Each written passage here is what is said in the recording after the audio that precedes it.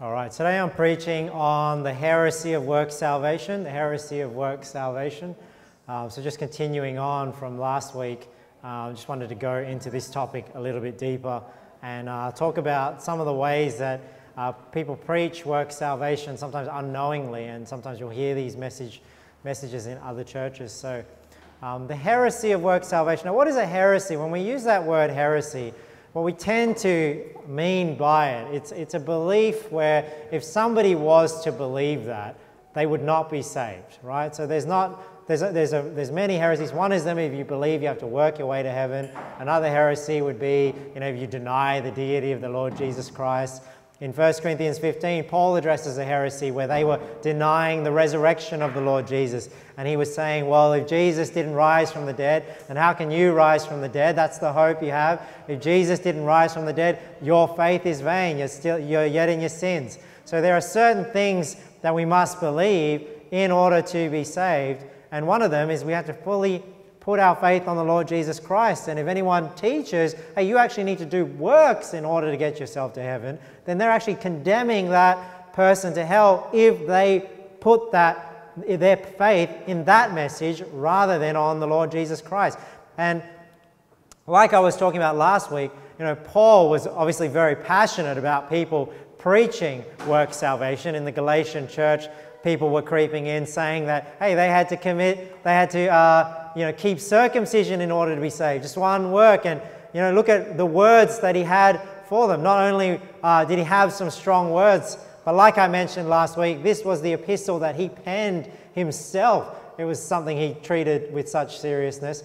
In Galatians 1:6, look at what, what he says. And this really should be the attitude we have towards heresy, towards, you know, false gospels that are out there. He says, I marvel, so marvel means I'm shocked, right? I marvel that ye are so soon removed from him that called you into the grace of Christ unto another gospel. And if you understand the gospel and how simple it is, how glorious it is, you would be shocked that people would want to go back to a belief of, you know, having to work their way to heaven. You know what I mean? It's like he's shocked that, hey, you know about the grace of God, yet you want to go back under the burden of work salvation. So, what is he saying here? Unto another gospel. But he's saying, which is not another. Why is he saying that? Because there is no other gospel than the true gospel, which is that Christ was buried, he rose again the third day, and we put our faith on that to be saved. Which is not another, but there be some that trouble you, right? And these are the people that are creeping into the Galatian church and would pervert the gospel of Christ. So, notice that sometimes work salvation I mean, there are the blatant ones out there where it's like, you know, Buddhism obviously is a works form of salvation. You got Islam is like a works form of salvation. But oftentimes the most dangerous forms of work salvation are the ones that come packaged as Christianity. Right? They come packaged as Christianity, but it's perverting the gospel of Christ. So it's not something completely different. It's, it's using all the same terminology, right? And all the cliches that, that Christian, Christianity uses, but it's teaching something a little different. But look at what Paul says. But though we or an angel from heaven preach any other gospel unto you than that we have preached unto you, let him be accursed. As we said before, so say I now again, if any man preach any other gospel unto you than that ye have received, let him be accursed. So, pretty strong words for the people that are out there preaching a false gospel. And he's saying, look, even if we, so he's saying, even if the apostles of Jesus, you know, preached a false gospel, he feels that way about them, or an angel from heaven, right? So, Joseph Smith and Muhammad, they should have taken heed to Paul's words here, because that's exactly what happened with them. You know, Joseph Smith, approached by the angel Moroni. Was it really an angel? Or, you know, Muhammad in the cave, he was approached by the angel Gabriel, right? Now, we obviously believe that these were devils masquerading as angels, but even if it was an angel coming at them with another gospel, Paul warned that, hey, it doesn't matter who gives the message, right? And this is what people have to understand from here too. You don't, you know, stake the credibility of the message of who is telling you right? Because here he's saying it doesn't matter who tells you the message. If it's a false message, it's false, right? So the credibility of the message does not come from the messenger. The credibility of the message comes from the source of truth, right, which is the Word of God. Look what he says here, just on the topic of work salvation. Romans 10. This is Paul saying to the Israelites Brethren, my heart's desire and prayer to God for Israel is that they might be saved. For I bear them record that they have a zeal of God, but not according to knowledge. Now, that saying doesn't only refer to the Israelites, right, back then. I mean, a lot of people, they're, they're passionately, you know, they've got the right intention, they want to serve God right? And maybe they, you know, genuinely want to do something right. That's why they believe work salvation. But Paul is saying here, hey, they, have a, they may have the zeal of God, but it's not according to knowledge. Verse 3 For they, being ignorant of God's righteousness and going about to establish their own righteousness, have not submitted themselves unto the righteousness of God. So you see, what's the problem with them having this zeal of God but not according to knowledge? Well, the problem is they, they might want to do the right thing, but they're not saved because they're trusting the wrong thing. Right? They're, trust, they're trying to establish their own righteousness rather than submitting to God's righteousness. Well, how do you submit to God's righteousness? Verse 4 For Christ is the end of the law for righteousness to everyone that believeth. See, so we're not saying that Christ is the end of the law full stop, because we still believe, hey, you ought to try and keep the commandments. But what is being stopped here? He's saying, no, the Christ is the end of the law for righteousness to everyone that believeth. Right? So generally when we talk about salvation by grace, we addressed one of the objection, main objections last week, which is, you know, why would someone do works if they're saved either way? And we, I talked about some reasons at the end of that sermon. So go back and listen to that if you weren't um, there or you, or you don't remember. But other people may say as well, you know, well, you don't think people should strive to do works, and that's not true either, right? So we, we obviously believe that even though you're saved, people should strive to do works. We just want to make sure that they're separate. So if you can imagine two circles, right? Two circles, you know, if you know maths, you have like Venn diagrams, right? And if the, the diagrams overlap, then they have some commonalities, right? But if you split up those two circles, we'd say that's, that's mutually exclusive, meaning they, they have nothing to do with one another, right? And that's how salvation in the Christian life works. You, on the one hand, you have salvation, that's by grace, that's one circle, right? And then on the other hand, you've got the Christian life. That's the good works, that's the coming to church, that's the reading your Bible, the prayer. You don't need to do these in order to obtain grace. And where people sometimes get confused, they start mixing those two circles together. And obviously, if you mix those two together, that's when you end up with work salvation. So you just need to make sure in your mind, you know, that these two circles are different. You have the decision to get saved, and then you have the decision to follow Jesus Christ and obey his commandments and do all those things. And one does not depend on the other. But this is where people always get confused because when we are talking about the circle of grace and how to be saved, and we say, hey, you don't need to keep works to be saved, these things are not a requirement for salvation the people that have always thought their whole life that they have to keep the works to be saved, they think, well, but we don't we have to keep the works? Well, we're not talking, we're not saying that works is not something that should be done. We're saying that it doesn't need to be done in order to obtain grace, right? So we just need to make sure these concepts are separate. And that's, that's generally the misunderstanding. If you have to share the gospel with somebody and you're trying to explain these concepts of grace, hey, we don't need to do these things in order to be saved, this is generally the conversation you're going to have because they're, what they're hearing, because all their life and what everyone else is telling them is that to earn their way to heaven, that's what they're hearing when, they're, when you're talking to them. You just need to be aware of that. So when you explain it to them, you've got to try and get rid of those misconceptions out of their mind. Right? So today I'm not talking about these blatant forms of work salvation, which are other religions other than Christianity. Today I want to talk to you about ways that Christian churches, you may hear work salvation. And I want you to understand that when the gospel is explained this way, this is not the true gospel of Jesus Christ. This is forms of work salvation, subtle though they may be, right? They are work salvation. Now, not everyone who uses these cliches and these Christian sayings always means work salvation. So I don't want you to go away thinking that just because you hear somebody say this, that's heretic, like, because sometimes people are just repeating things that they've heard but when you drill down, what do they actually understand? They understand salvation, right? They're just using the wrong terminology. But sometimes people use this terminology and they do mean what they're saying, and this is, this is wrong, right? This is, this is, these are heresies, right? So let's go through them. I've got seven for you today, and I'll try and go through them as quick as I can, and we'll go to some verses. A bit, a bit of overlap from last week, but it'll just reinforce what we talked about last week. First one is when they say you need to do your part. So I touched on this last week where they say, yeah, Jesus, you know, either allows you to, to work for yourself, you know, to, to, to obtain salvation. Jesus gets you 99% of the way there, but you have to do your part. You know, Jesus enables you to then earn your way to salvation. Anything like that, this is a form of work salvation. The fact that you need to do your part. Romans 11. And if by grace, then it is no more of works. Otherwise, grace is no more grace.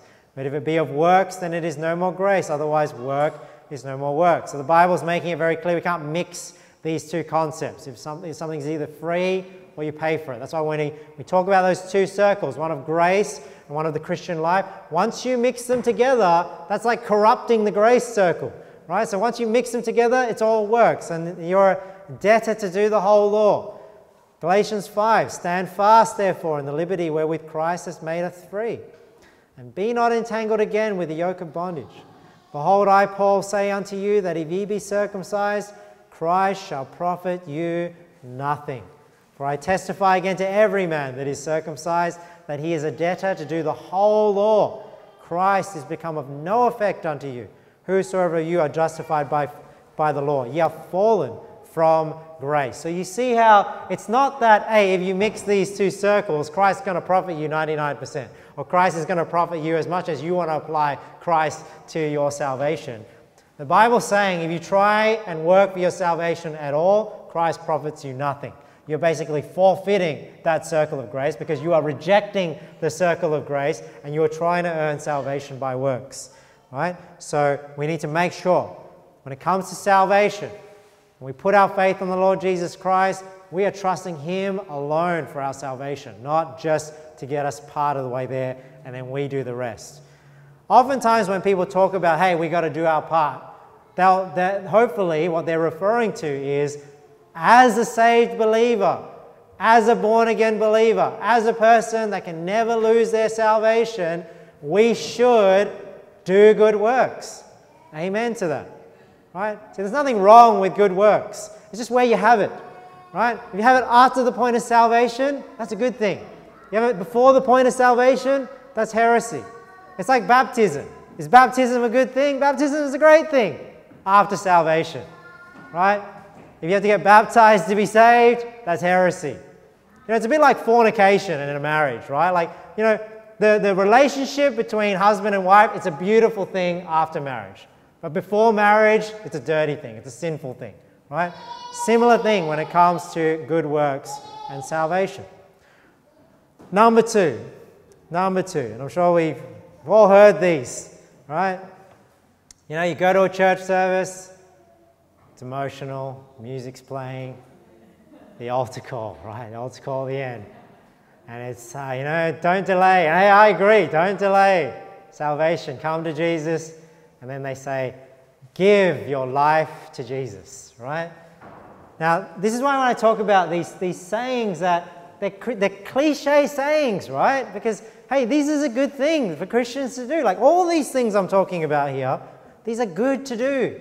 But when they're included in the call to salvation, that's the problem, right? Because what's being preached now is work salvation. Now, why give your life to Jesus, right? Now, the, the worst thing about this one is that this is, this is the complete opposite of salvation. Right? What is salvation? For God so loved the world that he gave his only begotten Son, that whosoever believeth in him should not perish, but have everlasting life. Right? So the gospel is Jesus gave his life for me. The gospel is not I give my life to Jesus to be saved. You see how this, it's the complete opposite. But that's what works is. Works is when you say, I will follow Jesus. I will keep his commandments, right? I will give my life to Jesus. And that is a daily, lifelong pursuit. You know, and that's why it's people that believe you have to do these things to be saved. I mean, it's impossible to fulfill these to perfection. And it's something that Christians, saved, born again believers, struggle with day in and day out. You have ups and you have downs. So to, to believe that this will get you to heaven is impossible. Right? So it's the complete opposite. Look at what uh, Jesus says here in uh, Matthew 20. But Jesus called them unto him and said, Ye know that the princes of the Gentiles exercise dominion over them, and they that are great exercise authority upon them. But it shall not be so among you. But whosoever will be great among you, let him be your minister, and whosoever will be chief among you, let him be your servant, even as the Son of Man came not to be ministered unto, but to minister, and to give his life a ransom for many. So notice that we don't give our life to get saved. Jesus gave his life for us. And in response to that, if we love Jesus, we'll give our life to him. But whether we do or not, we're still saved because we're saved by grace. Galatians 1 Grace be to you and peace from God the Father and from our Lord Jesus Christ, who gave himself for our sins, that he might deliver us from this present evil world according to the will of, uh, of God and our Father, to whom be glory forever and ever. Amen. Give your life to Jesus. Right? So, again, this is not a bad thing to do. Now, do I believe you should give your life to Jesus? Of course. Right? But if you need to give your life to Jesus to be saved, that's work salvation. What about this one? Number three is make Jesus Lord of your life right? So sometimes people will say, hey, you need to accept Jesus as your Lord and Savior. So we just need to be careful with the way we word things because people understand things differently, right? So when, when what is salvation? Salvation is not making Jesus Lord of your life, right? Salvation is making Jesus your Savior, right? What's the difference? Because when Jesus is your Savior, that's Jesus doing something for you. That's salvation. But when you make Jesus the Lord of your life, what are you saying? Well, when you make Jesus the Lord of your life, you're saying, hey, I'm willing to obey Jesus, right? And we don't believe salvation comes by works. So salvation is making Jesus your Savior. The Christian life is making Jesus your Lord. The whole package, you know, ideally, a Christian makes Jesus their Savior and their Lord, right? But nobody does this to a perfect extent. Right? Because some people, there's this saying in Christianity, and it's, it's, a, it's an incorrect saying, but people will say things like this. They'll say, if he's not Lord of all, then he's not Lord at all. That's sometimes what they say. They say, if he's not Lord of all, meaning if Jesus is not the Lord of all of your life, then he's not Lord at all. What they're saying is, if you're not keeping works 100%, then you're not saved. That's what they're saying with that. But is that the truth? Because if that was the case, if you needed to make Jesus the Lord of your life and the Lord of all, you know what that would mean? You would have to be perfect. Because every time you sin, you know who's the Lord in that instance? It's not Jesus. Look what Jesus says in uh, John 8 34. Jesus answered them, Verily, verily, I say unto you, whosoever committeth sin is the servant of sin. So you see how why is it like that in the Christian life? Because we have, this, we have the spirit and the flesh, right? Sometimes you walk in the spirit, Jesus is Lord.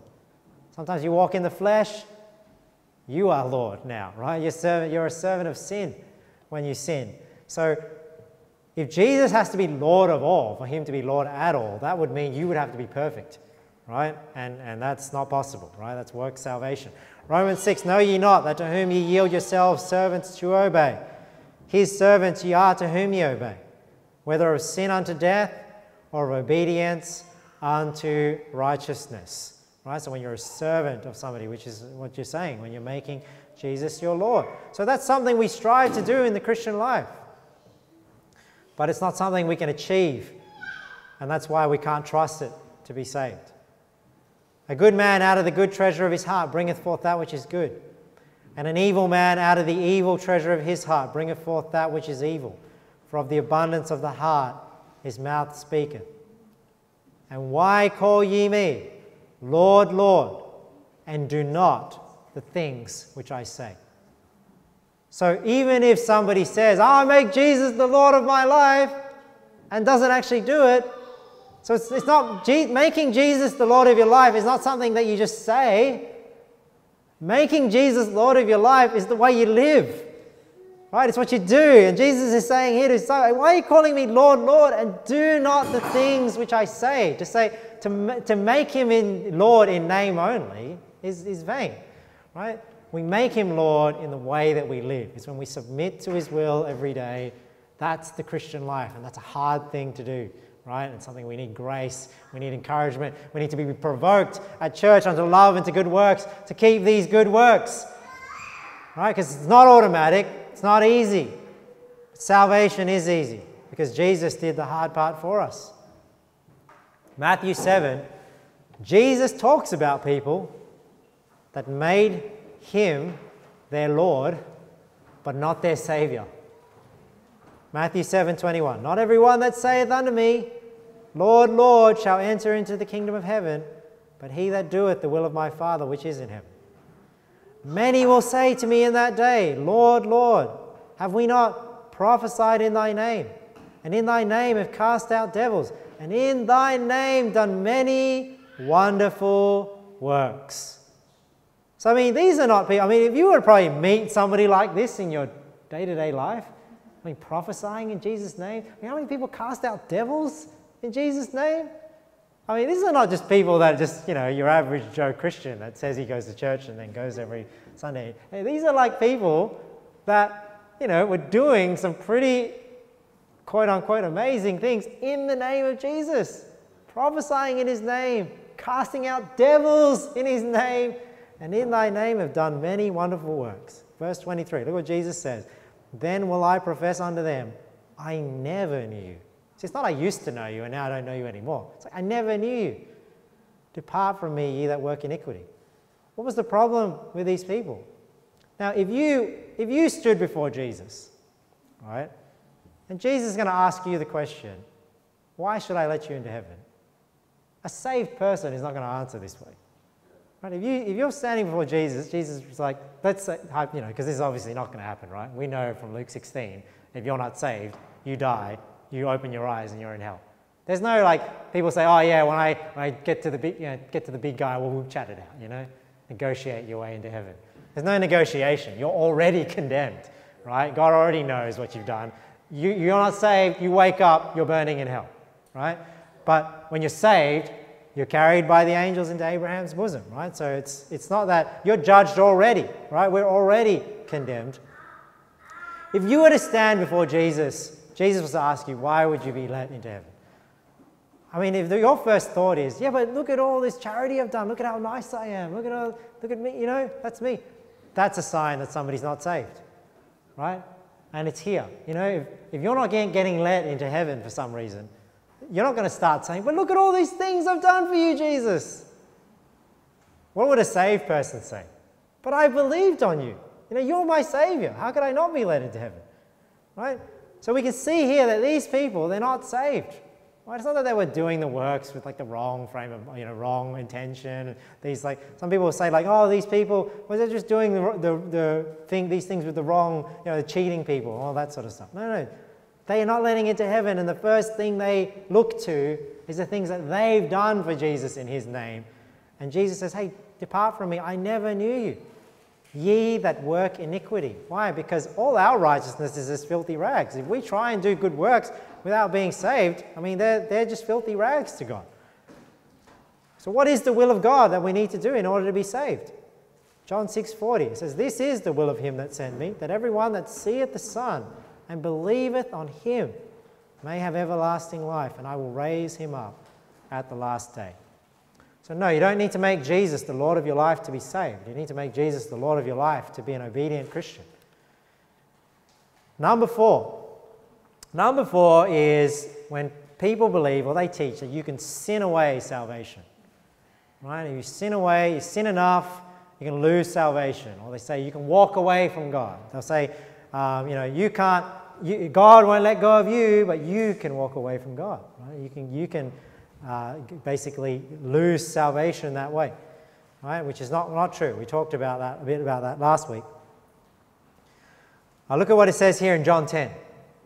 John 10. I give unto them eternal life, and they shall never perish, neither shall any man pluck them out of my hand. My Father, which gave them me, is greater than all, and no man is able to pluck them out of my Father's hand.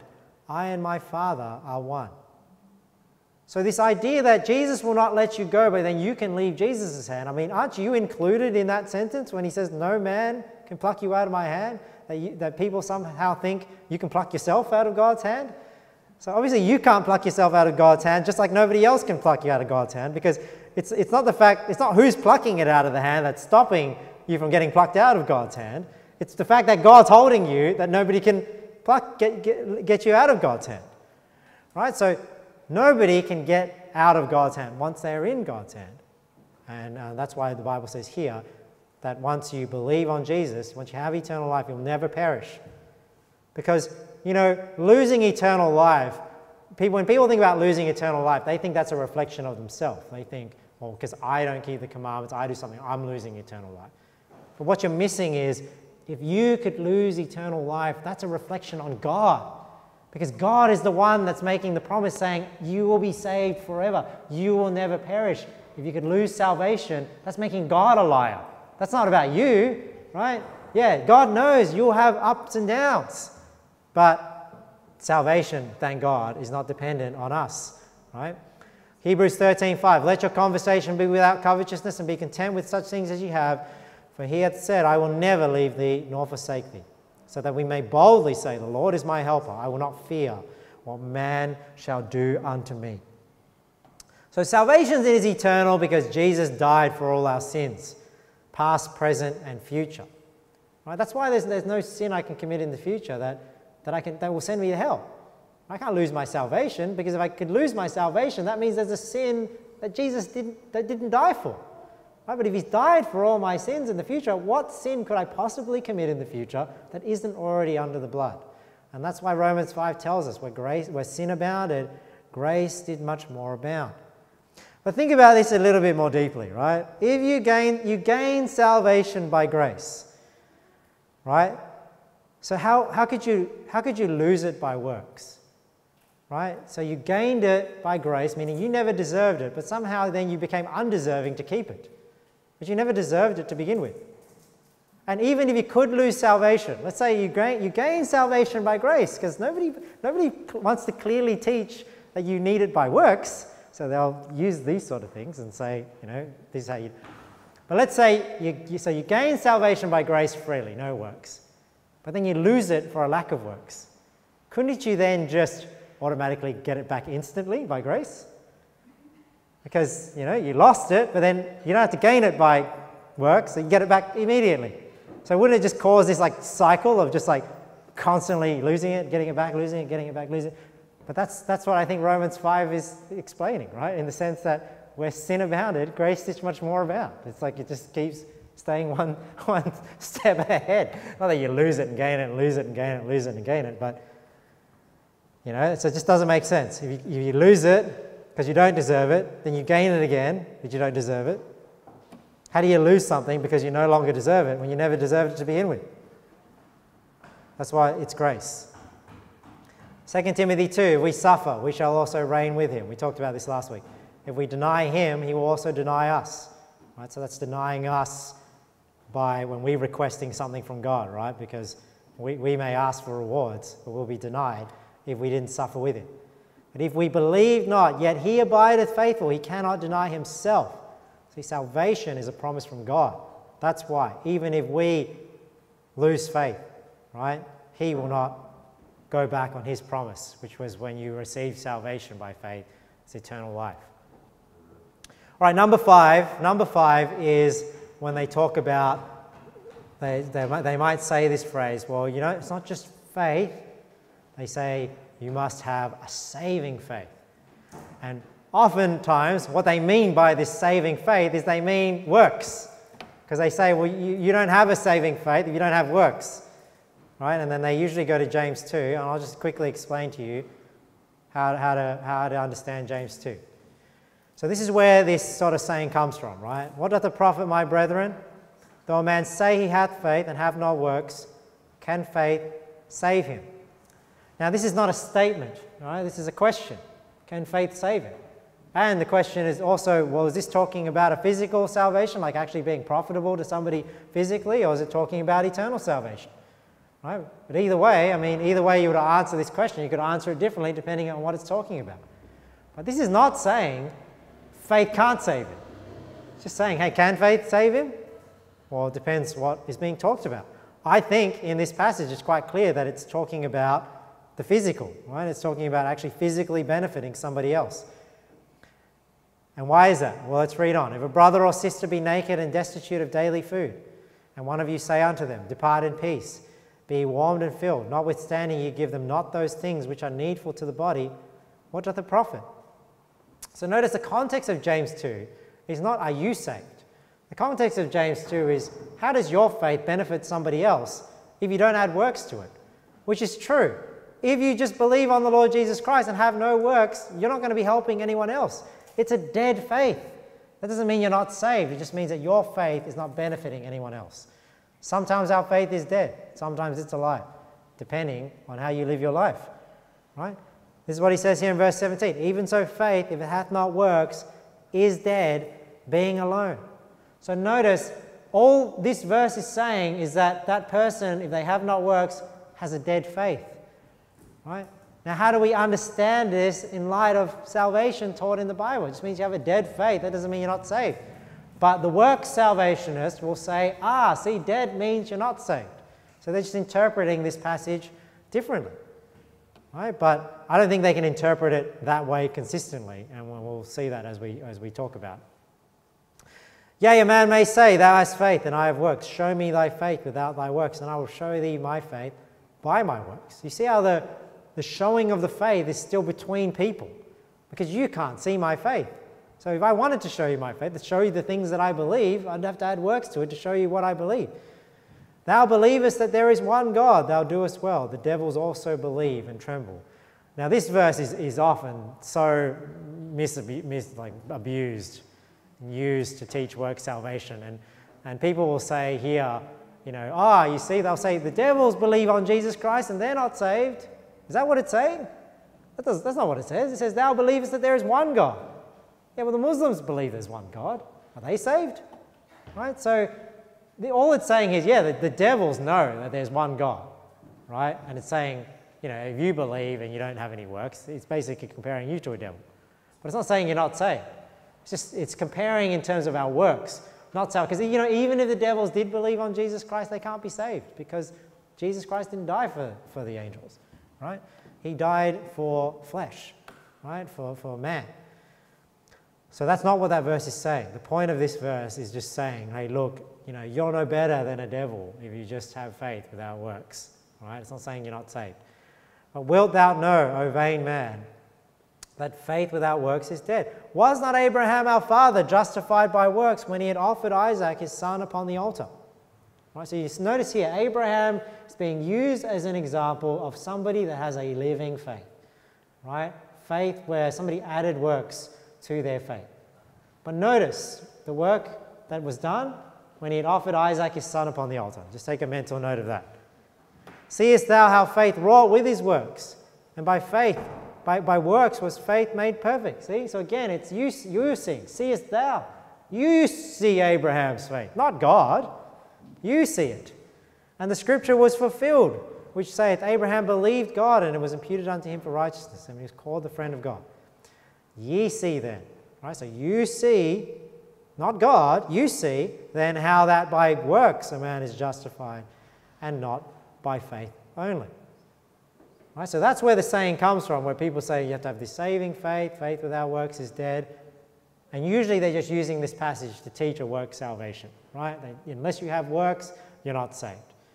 But what's the right understanding of James 2? Well, we get the right understanding of James 2 when we compare it with Romans 4, right? And remember, Abraham was used as an example in James 2.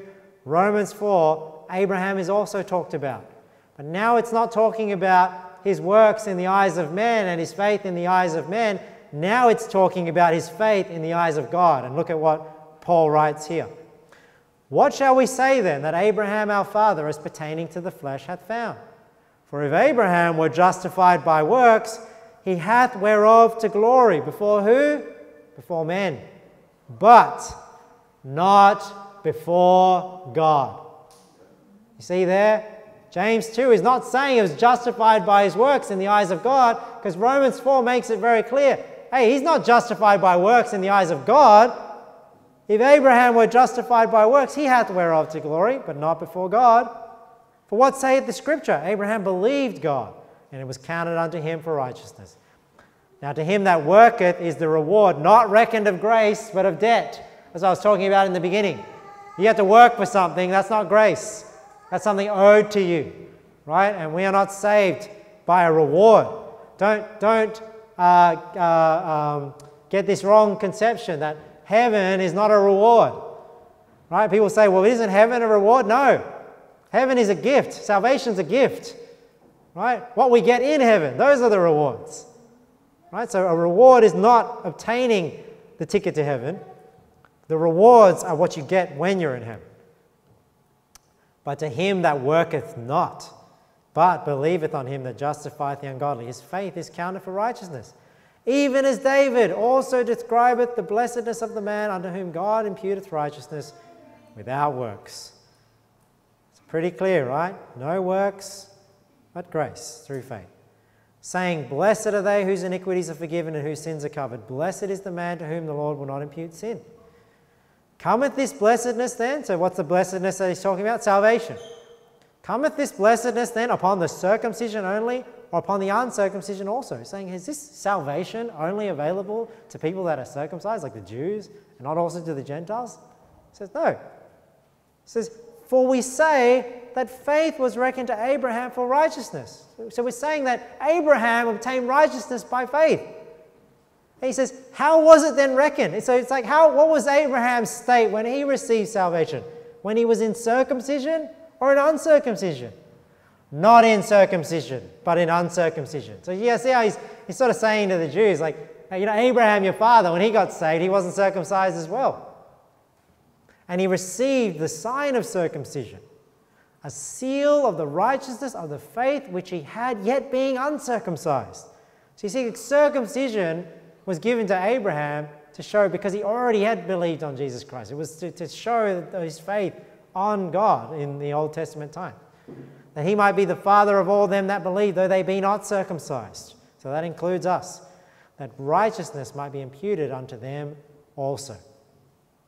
So remember in James 2, and this is really the, the, the real nail in the coffin for people trying to use Abraham in James 2 as a way of work salvation is because what he's saying here is he's saying Abraham believed God and it was imputed unto him righteousness. He was called the friend of God. And when, when did this happen?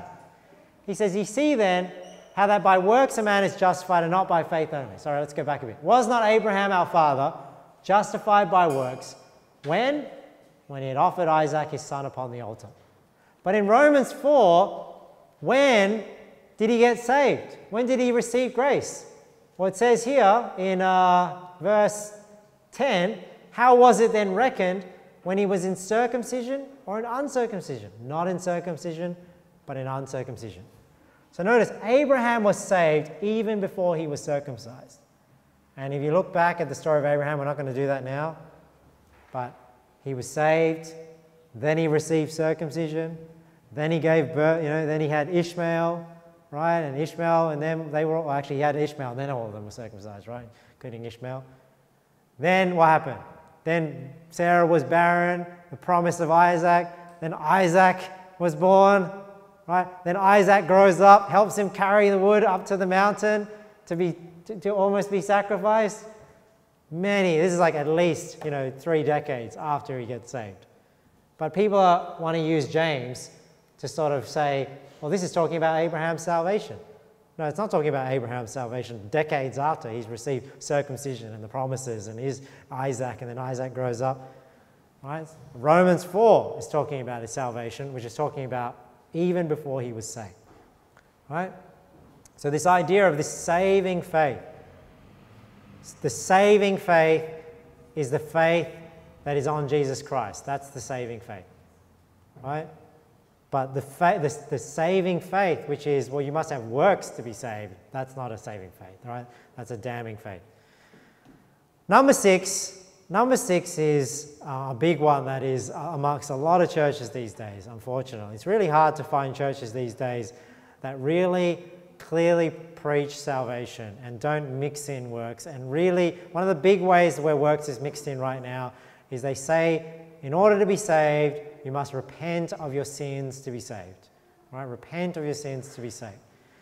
Now, if a person, if what a person means by that, repent of your sins, if what they mean by that is, I acknowledge that I have sinned against God, and I acknowledge that my sins make me worthy of death, right? And, and, and, and then they believe on Jesus Christ, right? If that's what they mean by repent of your sins, you just mean admit you're a sinner and admit that your sins make you deserving of hell, then what they believe is right, but how they're describing it is wrong right? Like you can use any words you like. You know, I could say, I could say, I believe I have to work my way to heaven, but by work I mean faith, and by you know what you know whatever, right? You can if you just change the meaning of words. I mean, yeah, you can believe the right thing, but you know, but we're talking about when you explain it to somebody else, you need to make sure you use the right words so that they understand the right concept. Because in the Bible, what repent means, it means to turn from something, right? And when you turn from sin, what you're saying is, I'm, stop, I'm going to stop sinning, right? That's what it means to, rep- to repent from sins. Because what is a sin? 1 John 3 Whosoever committeth sin transgresseth also the law, for sin is the transgression of the law. So you see, when you sin, you're transgressing the law, you're breaking the commandments. When you turn from that, how do you turn from breaking a commandment? Well, you now have to keep the commandment right? So to turn from the commandment, you have to keep the commandment. It's very clear here in Ezekiel 18, verse 26. Look at this. When a righteous man turneth away from his righteousness and committeth iniquity. So you see, if you turn away from, from righteousness, doing the right thing, so you can repent from right and do wrong, and committeth iniquity and dieth in them. For his iniquity that he hath done shall he die. Again, when the wicked man turneth away from his wickedness that he hath committed, and doeth that which is lawful and right, he shall save his soul alive. Because he considereth and turneth away from all his transgressions that he hath committed. He shall surely live, he shall not die. Yet saith the house of Israel, The way of the Lord is not equal. O house of Israel, are not my ways equal? Are not your ways unequal? Therefore I will judge you, O house of Israel, every one according to his ways, saith the Lord. Lord God, Repent and turn yourselves from all your transgressions, so iniquity shall not be your ruin.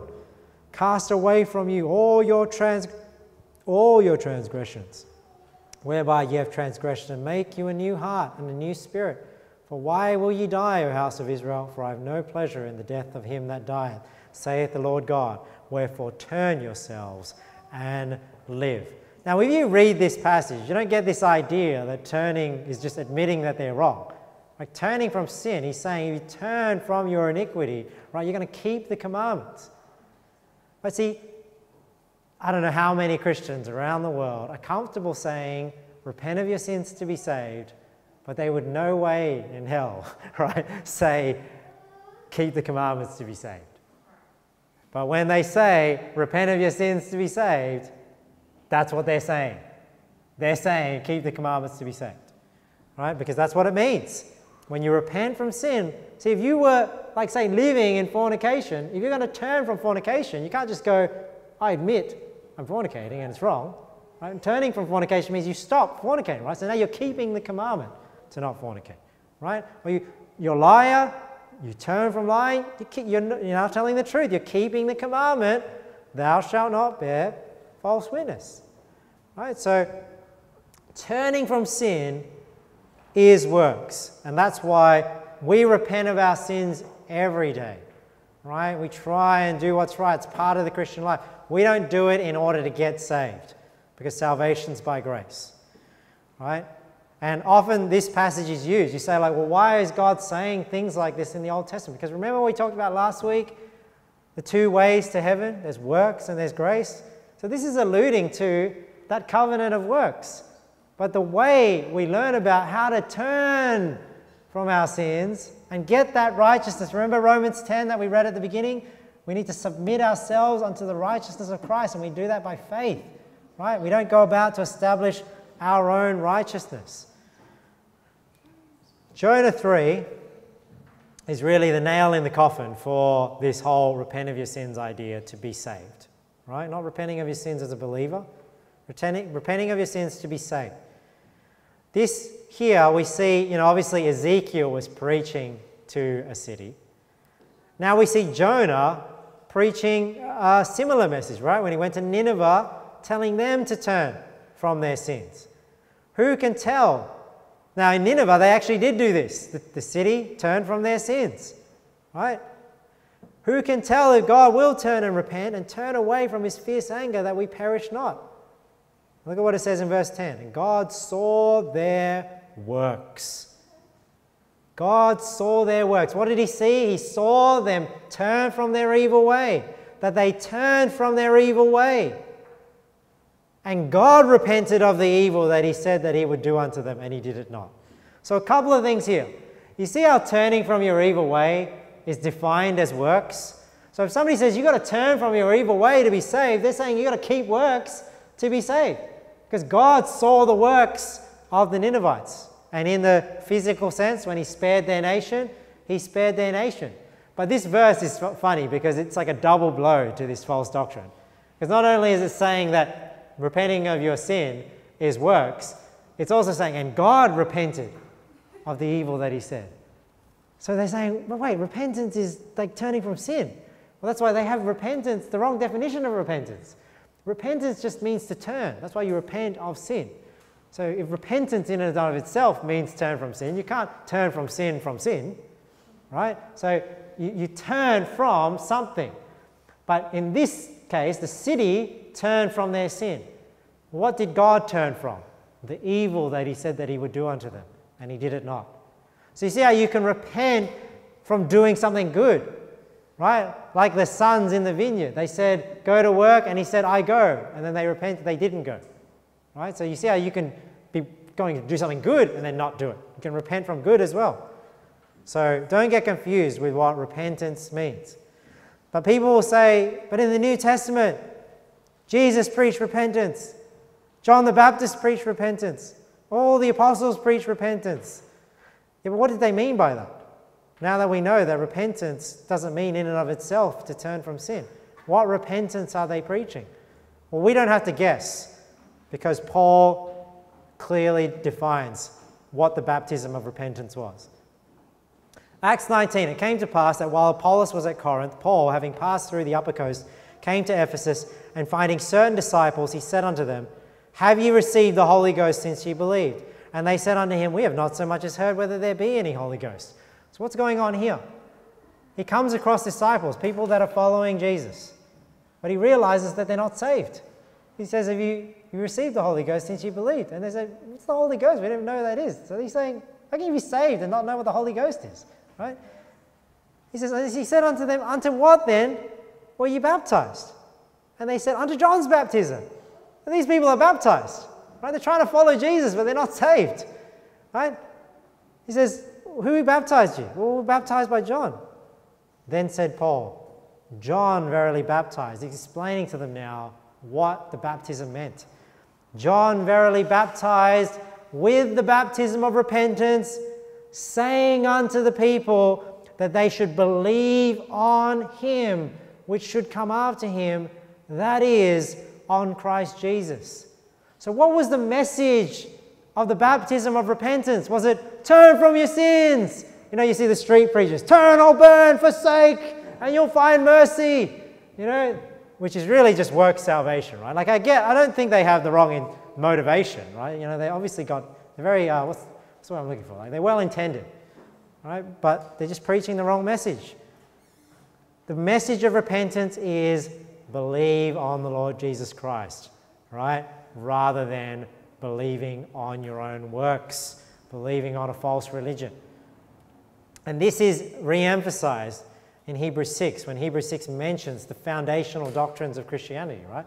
Therefore, leaving the principles of the doctrine of Christ, let us go on unto perfection, not laying again the foundation of repentance from dead works, and of faith toward God. See, the, the foundational doctrine of Christianity is not repentance from sin, right? Because nobody's trusting sin to get them to heaven. Right? We're not sinning our way into heaven. But you know what people are doing? They're trying to work their way to heaven. Right? And the Bible's saying here what you need to turn from is dead works. Right? The works that if you trust will not get you saved. That's what needs to be turned from. And of faith toward God. Right? So repent of your sins to be saved. One last one. Number seven. And, and this one's always a, like a, a, little bit of a tricky one. And I mean, if you talk to people, you try and explain salvation to them, you get into this sort of conversation, they say, You don't need to follow Jesus. They say, You just need to be willing to follow Jesus. All right? And they say, like, it's not that you have to do it, you just have to be willing to do it. All right? Is that too much to ask? Willing? To, well, according to salvation, I think it is too much to ask to be willing to follow Jesus because what does that even mean, willing to follow Jesus? Now, first of all, I mean, we read when we were at uh, Ezekiel. I mean, these are the sort of passages that they would use to teach. Well, you just need to be willing to keep the commandments. You don't have to actually keep the commandments. But any verse that they turn to that refers to keeping the commandments doesn't have this word willing in them, right? It's like here in Ezekiel 18 where we read. We'll read from verse 30. Therefore I will judge you, house of Israel, everyone according to his ways, saith the Lord God. Repent and be willing to turn yourselves from all your transgressions, so iniquity shall not be your ruin. It doesn't say that, does it? It's repent and turn yourselves from all your transgressions. Verse 31 Cast away from you all your transgressions. So, this is not going to give us much hope if we're using a passage like this to say, well, I need to do this to get salvation because this is work salvation. This is what's not possible. This is why I need Jesus. Right? In the New Testament, we have passages like this too in Galatians 3. It says here, For as many as of other works of the law are under the curse, for it is written, Cursed is every one that continueth not in all things which are written in the book of the law to do them. But that no man is justified by the law in the sight of God, it is evident, for the just shall live by faith. So you notice that. Cursed is everyone that continueth not in all things, not some of the things, not just some of the things that you find easy to do, which are written in the book of the law to do them. Not to be willing to do them, to do them. Right? So, this idea that you need to be willing to do works in order to be saved, that's just another form of work salvation right? And think about it. Why do you need to be willing to do something that's irrelevant for salvation? It's like if I said to you, here's a gift for you, but you need to be willing to pay for it. It's like, it's a gift, isn't it? Why do I need to be willing to pay for something that I don't need to pay for in order to receive it? You know, it's, it's irrelevant. So I don't need to be willing to do works to be saved. It's an irrelevant question.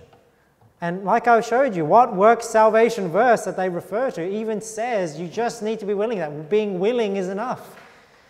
And you know, and you know what ultimately happens? This whole willing to do works. And for those of you who've heard me preach about this, I always say this. This is how it works, right? They always say, no, no, no, you don't have to keep do works. They say you just have to be willing to do works. But then you know what happens if you don't do works? Well, you weren't really willing. Because are you really willing? It's like, hey, it's like you need to be willing to come to church. But if you don't come to church, are you really willing to come to church? So you see it just, it just goes back to works because because if you don't do them, you're not willing. Just like, you know, you have to have the saving faith, but if you don't have the works, you don't have the saving faith. So it just goes back to work salvation. So just be aware of this, right? Just in summary, God, you need to do your part to be saved. These are all to be saved, right? We're not talking about the Christian life. Give your life to Jesus to be saved. That's work salvation. Make Jesus the Lord of your life. That's work salvation. To be saved. Sin can cause you to lose salvation, right? You need to keep doing works to stay saved. You must have a saving faith. What they mean by that is the work salvation, right? Saving faith is a faith on Jesus. You must repent of your sins to be saved. Or you must be willing to follow Jesus to be saved, right? These are all work salvation.